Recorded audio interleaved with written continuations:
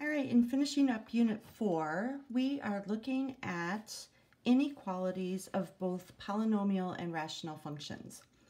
So we've done this before when we were working with quadratic functions, which is a polynomial, and we were looking on the graph um, to see where the function is greater than or less than um, 0. So remember, f of x is just our y values.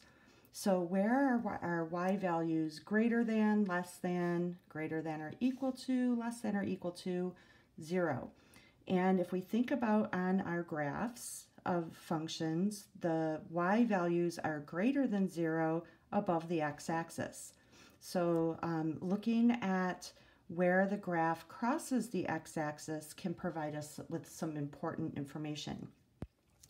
So with a regular polynomial function, um, polynomials always have a domain. And again, we need to look at the domain. And polynomials always have the domain of all real numbers. So if the function is a polynomial, just a reminder that the domain is all real numbers. If the function is a rational function, we need to look for the restrictions.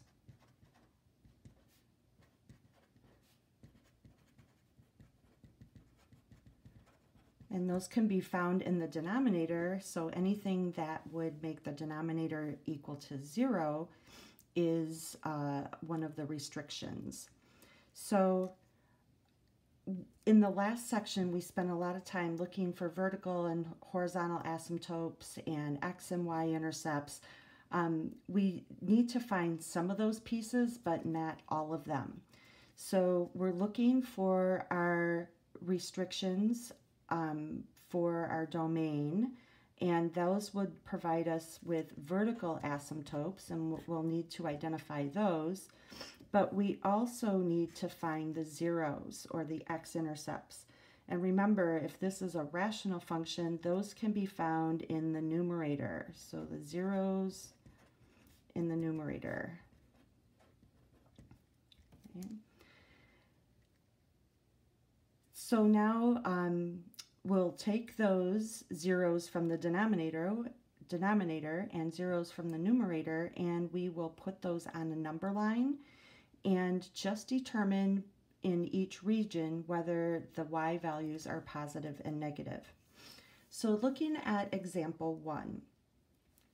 In example one, I have a, I'm trying to make it a little bigger. There we go. I have a polynomial function and it says our function, we're looking for numbers greater than zero. So the y value is greater than zero. So first of all, identifying the domain, my domain is all real numbers because it is a polynomial. If I look for my x-intercepts, um, I have x-intercepts at x equals 5 and x equals negative 2. All right, so on my number line over here, I'm going to put uh, point at negative 2 and a point at 5. And then we're going to look at each of these regions individually. These are x-intercepts. Look at the regions individually to determine if they're positive or negative. Okay, so I'm going to expand this just so you follow a little bit of what I'm doing with my positives and negatives. So this function can be written as x minus 5 since it's squared, I have two factors of x minus 5 and then a factor of x plus 2. Now I'm looking for a number that's less than negative 2, and I will try, let's do negative 4. So at x equals negative 4, I'm going to plug that in for x in my function and the factors. So negative 4 minus 5, that gives me negative 9. That's negative. Same thing for this one. That's negative. And negative 4 plus 2 is negative. So in this region, I have three negatives. Um, that's an odd number of negatives, so this is negative. Now I'm going to pick a number between negative 2 and 5. So at x equals 0. 0 minus 5 is negative. 0 minus 5 is negative again, and 0 plus 2 is positive. Now because I have two negatives, um, that's an even number of neg negatives, so those values are going to be positive. So I'll put a positive there. Now I need a number bigger than 5. Let's do at x equals 6. Plug 6 in, I get 6 minus 5 is positive, so I have two positives here, positive, positive, and 6 plus 2 is positive, so this is positive in this area. All right, so what are we looking for? We are looking for the y values that are greater than zero, which are positive values, and it does not equal zero. So I can, when I'm creating my set, because we're going to write these in interval notation, I cannot include my points on my number line because it doesn't have the equal sign there. So my set notation for when the uh, values are positive are in here. So my set notation will be negative 2 to 5. So my x values are negative 2 to 5. They don't include the endpoints because we don't have an equal. So the next one, I have x to the third power minus 9x is less than or equal to 0. And before I do anything, I want to factor. And I see a greatest common factor of an x. And then I would multiply by x squared minus 9, which is a perfect square binomial. So I need to break them apart. I have x, x plus 3, and x minus 3 right? So this is my function in factored form that I'm looking at. Again, this is a polynomial, so my domain is all real numbers, but my x-intercepts, those are going to be the numbers on my number line, and I know x is 0, x is negative 3, and x is positive 3. So on my number line over here, I have negative 3, 0, and positive 3. So now I'll pick numbers in each of those regions and a number less than negative 3, how about um, at x is negative 4? And I go back to my factored function. So this first value is negative 4, so that gives me a negative. Negative 4 plus 3 is negative, and negative 4 minus 3 is negative. So at negative 4, or in this region, I have all negatives. Between negative 3 and 0, let's choose 1. So at x equals 1, I am, and make that negative 1. I have a negative 1, so that's negative. Negative 1 plus 3 is positive 2, and negative 1 minus 3 is negative 4. Two negatives make that region positive. My next region I have between 0 and 3, so let's pick x equals 2.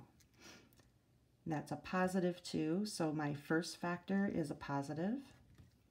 2 plus 3 is 5, that's positive, and 2 minus 3 is negative.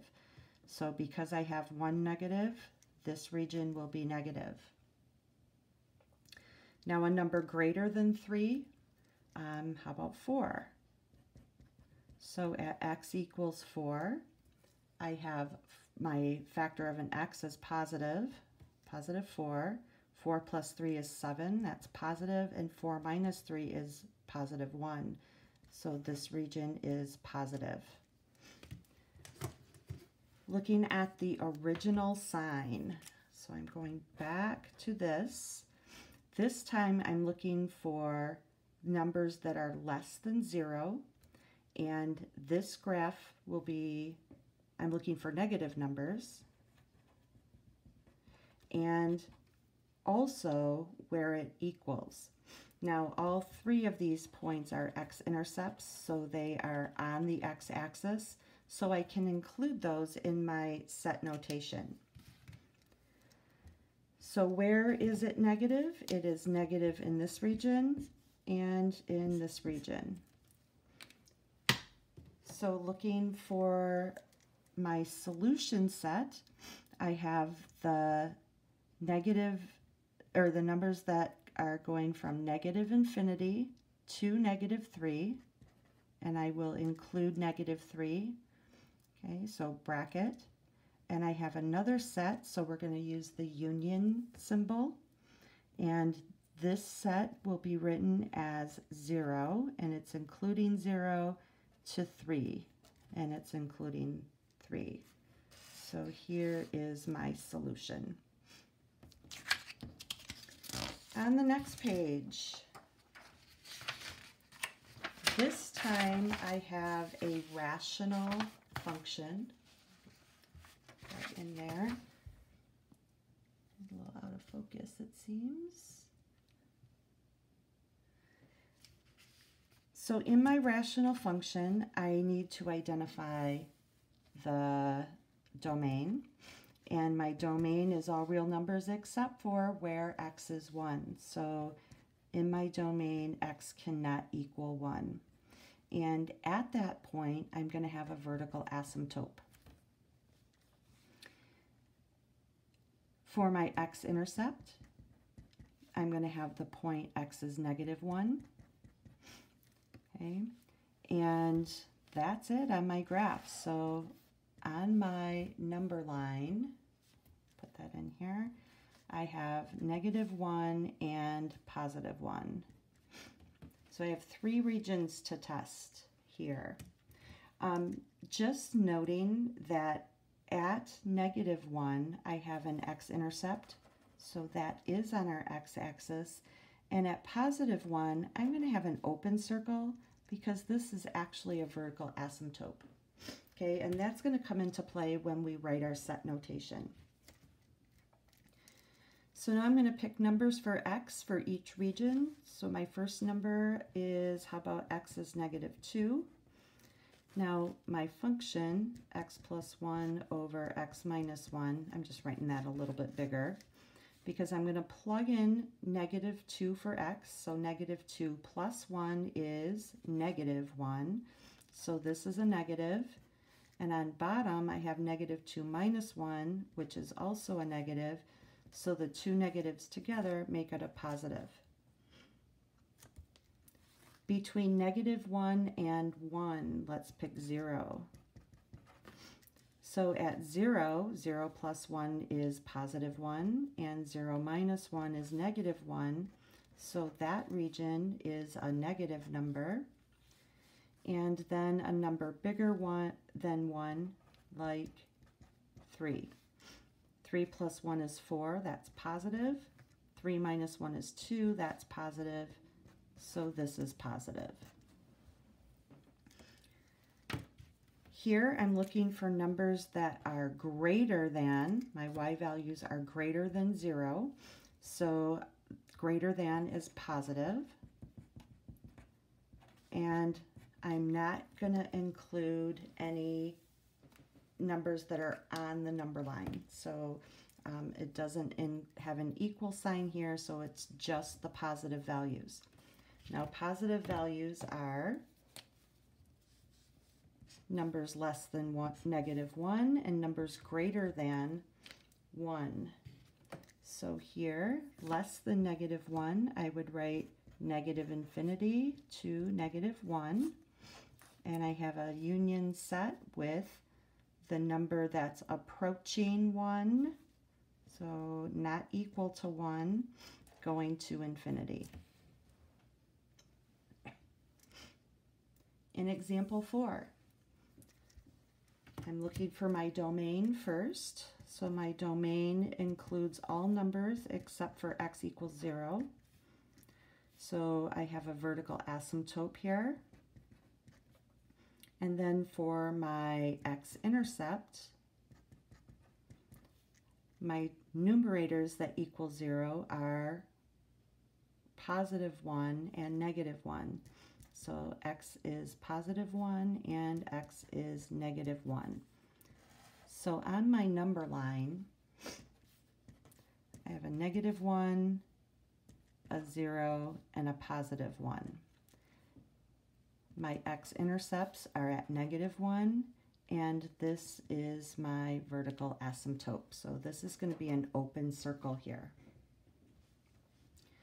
Now I'll find numbers for x in each region. So at x equals negative 2, I'm plugging in negative 2 minus 1 is negative 3. Negative 2 plus 1 is negative 1 and that's over negative 2, which is negative. Three negatives means this region is negative. Between negative 1 and 0, I'm going to choose negative 1 half. So negative 1 half minus 1 is negative 3 halves. Negative 1 half plus 1 is positive 1 half. And then negative 1 half on the bottom. The two negatives make it positive this region is positive. How about at x equals positive 1 half? So at x equals positive 1 half, 1 half minus 1 is negative 1 half. 1 half plus 1 is positive 3 halves, and then positive 1 half on the bottom. This section is negative, and then I have a number bigger than 1, like 2. 2 minus 1 is positive, 2 plus 1 is positive, and 2 is positive. All of those are positive. All right, so now I'm looking for numbers that are less than or equal to 0. So in this case, I'm looking for negative, and it can equal 0. Okay, so that's important for my endpoints. My regions that I'm looking for, the negative values are here and here. So in my set notation, I have the numbers from negative infinity to 1, and 1 is a x-intercept, and we'll include that. So negative infinity to 1, including 1. We never include a negative infinity because it's not a finite number. Then I have another set between 0 and 1. Now, even though it says it's equal to over here, I have a vertical asymptote and the graph will never cross or connect to the vertical asymptote. So at 0, 0 is not part of our domain, so I'm not including the actual point of zero, just everything that's very, very close to it. And that goes to one. So I go from zero to one and I include one. This last problem, um, notice I have my fractions, my rational functions on both sides of the inequality sign. So the first thing I need to do is send that function on the right to the other side. So I have 5 over x minus 1, and I'm going to subtract 4 over x plus 2. Now I need to write this as a single fraction, one ratio. Okay, so I need to put these um, denominators together into a common denominator. So in my common denominator, I'll have a factor of an x minus 1 and an x plus 2. Now when I put these together in a common denominator, what I'm actually doing is multiplying x minus 1 by x plus 2. And when I multiply that on the denominator, I also have to multiply that on the numerator. So that gives me 5x plus 10. I do the same thing for the other fraction. To get x plus 1 and x, min x minus 1 and x plus 2 on both of those factors on the denominator, I needed to multiply x plus 2 by x minus 1 on the top and bottom. Okay, so here gives me the two factors on bottom, and now I'm going to distribute. And I'm going to distribute here with negative 4, so I have minus 4x, and minus 4 times minus 1 is plus 4. And if I simplify that, I'm going to have 5x minus 4x is 1x, and 10 plus 4 is 14. So that is a factor by itself on top. On the denominator, I have an x minus 1 and an x plus 2. So my domain is all numbers except x equals 1. So x cannot equal 1 and x cannot equal negative 2. So this will give me my vertical asymptotes. now for my factors on the top, if I set this equal to 0, that gives my, me my x-intercepts. So my x-intercept is um, negative 14. So on my number line, I'm going to have x-intercepts at 1 and negative 2. So here's 1, here's negative 2, and negative 14. And actually at 1 and negative 2, those are open circles and vertical asymptotes. So our graph will not touch those. X-intercept at 14. So now we test our region. I pick numbers for each region. So the first one is less than negative 14. And this is what I'm putting those numbers into. That's my factored function. So number less than negative 14, so how about at x equals negative 15? Negative 15 plus 14 is a negative 1. And on the bottom, I have negative 15 minus 1 is negative 16, and then negative 13 for plus 2. So this is negative in this region. A number between negative 14 and negative 2, let's try negative 5. So at x is negative 5. If I add 14, I get a positive number. Negative 5 minus 1 is negative 6, and negative 5 plus 2 is negative 3. So this region is positive. Between negative 2 and 1, I'll pick 0. So at 0, plus 14 is positive 14, 0 minus 1 is negative, and 0 plus 2 is positive. This region is negative. And now I have a number bigger than 1. Let's try 3. I plug in 3 plus 14 is positive 17. 3 minus 1 is 2, and, oops, and that's positive. And 3 plus 2 is positive 5. This region is positive. Now, if I go back and look at my original sign, this would say less than or equal to zero since I move this over. So I'm looking for numbers that are less than zero or equal to. So these are negative. So I want negative numbers and it can equal my zeros. All right. So those values are here and here. So for my set notation, I have the numbers from negative 14 to negative infinity. Negative infinity comes first, and it goes to negative 14, which is an x-intercept, and we'll include that. Include it with a bracket. And my other set is between negative 2 and 1. Even though it says equal here, these are asymptotes, so it will never equal those values because that's not part of our domain over here.